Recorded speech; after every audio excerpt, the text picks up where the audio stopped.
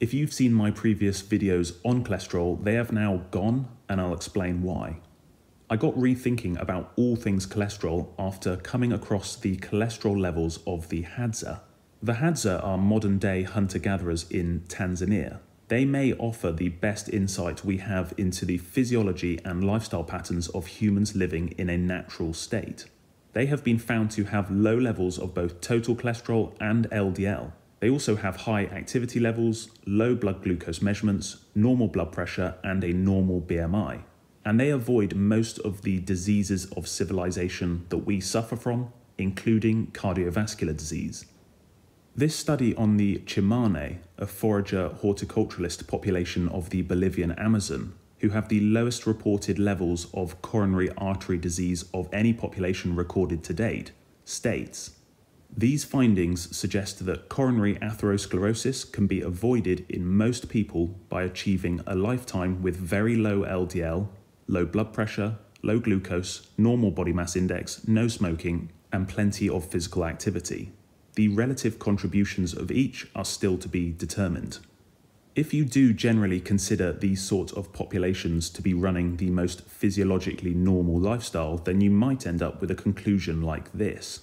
Optimal low density lipoprotein is 50 to 70 milligrams per deciliter. Lower is better and physiologically normal. That equates to an LDL of 1.3 to 1.8 in the UK. Atherosclerosis is endemic in our population, in part because the average person's LDL level is approximately twice the normal physiologic level.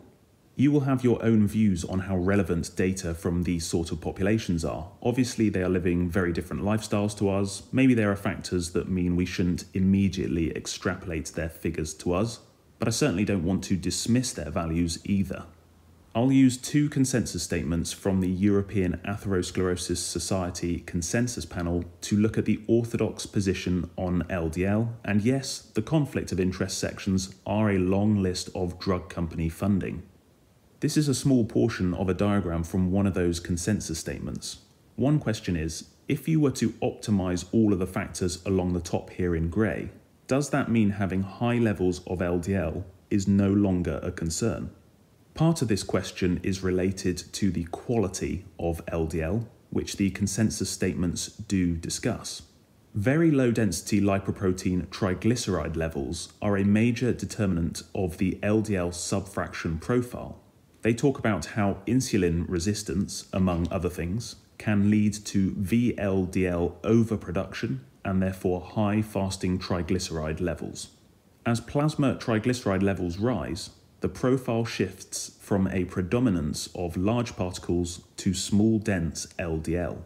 An LDL subfraction profile in which small particles predominate is part of an atherogenic dyslipidemia in which remnant lipoproteins are also abundant. The residence time of LDL in the circulation may be the critical factor in the relationship between plasma LDL subclass level and atherosclerosis risk, as it determines both exposure of arterial tissue to LDL particles and the potential of LDL to undergo pro-atherogenic intravascular modifications such as oxidation. Increased plasma residence time can result from deficiency or dysfunction of LDL receptors, as in familial hypercholesterolemia, or from structural or compositional features of LDL particles that impair their binding affinity for LDL receptors, as for small dense LDL. So, whilst the consensus statements do discuss LDL quality, the focus is mostly on quantity because you still have more potential LDL interactions with the arterial wall, and therefore elevated levels of LDL are thought to be a problem in any situation. Consistent evidence from numerous and multiple different types of clinical and genetic studies unequivocally establishes that LDL causes atherosclerotic cardiovascular disease.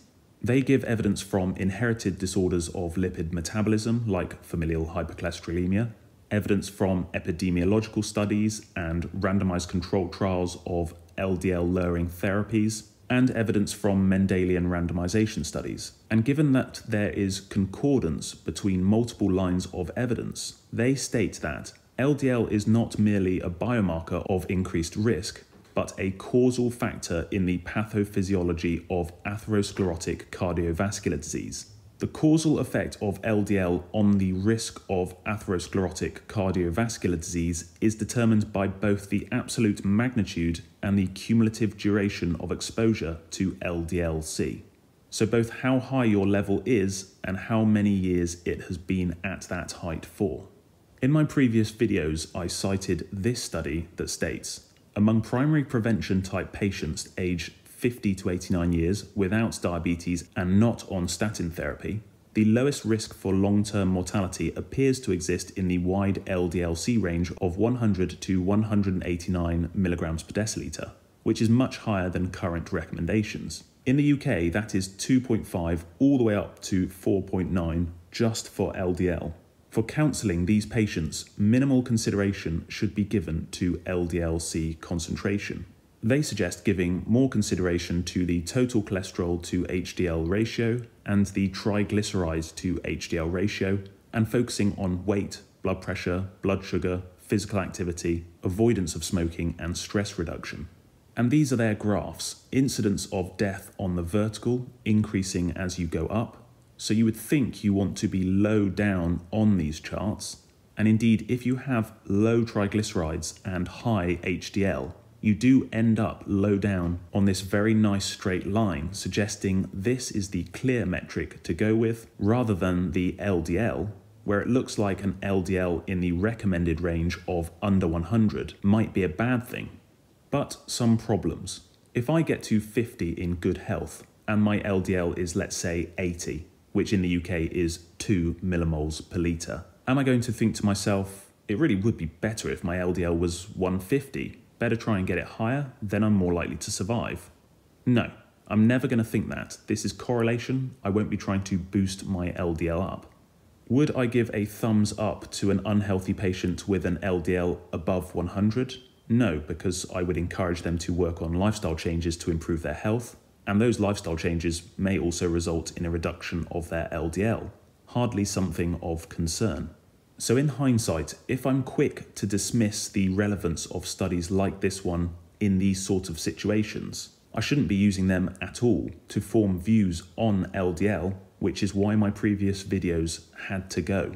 And if it's tempting to dismiss studies cited by the consensus statements because maybe they were done on unhealthy populations that probably haven't got this top row of risk factors sorted out, then it would be inconsistent to cite correlation studies done on similar populations to support an alternate viewpoint. And so I don't think I'm left with anything robust enough to challenge the orthodox position with. Do let me know what you think down below. Lots of your previous comments certainly got me rethinking, which is always good. Thanks for watching.